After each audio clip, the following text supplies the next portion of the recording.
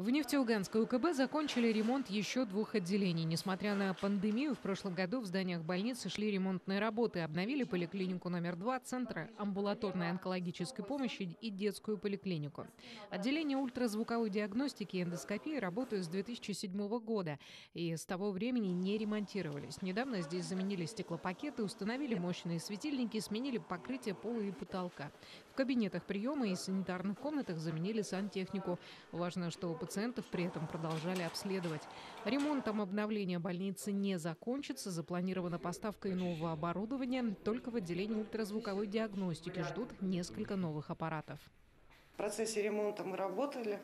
Было, конечно, не очень комфортно, но зато теперь у нас очень чисто, светло и уютно. В этом году мы также планируем продолжить э, ремонт одного из этажей пульмонологического отделения, это седьмой этаж. Будем планировать и ремонт э, и отделения гастроэнтерологии, терапии, кардиологии, ну и в пятиэтажном корпусе также это третий этаж.